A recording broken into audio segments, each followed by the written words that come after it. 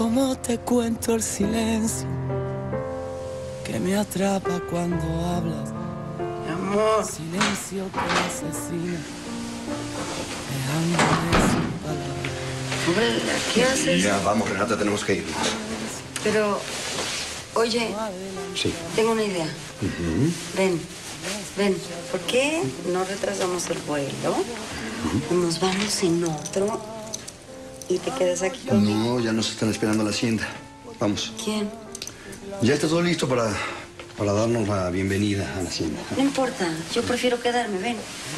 Ven, ay. A ver, Renata, faltan menos de cuatro horas para que salga el vuelo. Te da tiempo justo para cambiarte, que vayamos a tomar un desayuno y llegar al aeropuerto. ¿Es en serio? ¿Jerónimo?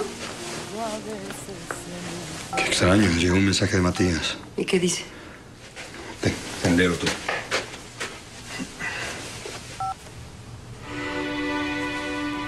Ayer se puso muy mal la mamá de Adriana y falleció. No quise avisarle a Renata porque sé que le va a afectar mucho.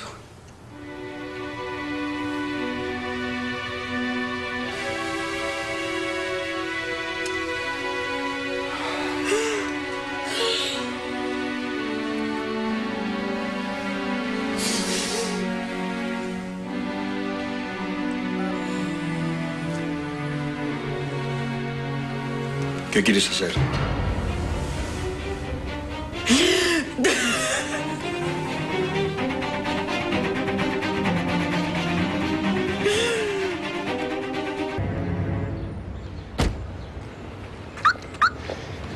Bueno, por tu pasaje no te preocupes. Yo lo veo en el aeropuerto, lo cambio y te aviso.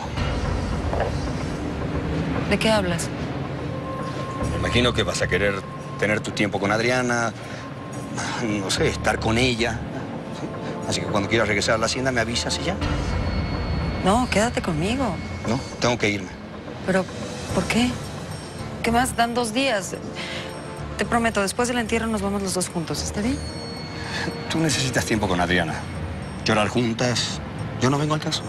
¿Cómo no vas a venir al caso si eres mi marido? Renata, ¿podemos hacer las cosas como yo digo? Tú te quedas con Adriana, te tomas el tiempo que sea necesario y cuando quieras regresar a la hacienda me avisas. Allá te espero. Adiós. Hay amor que nos está pasando, que sin vivir antes todo era blanco y ahora gris. Pero no entiendo. Siente en la sala ¿Qué puede ser más importante que quedarte conmigo?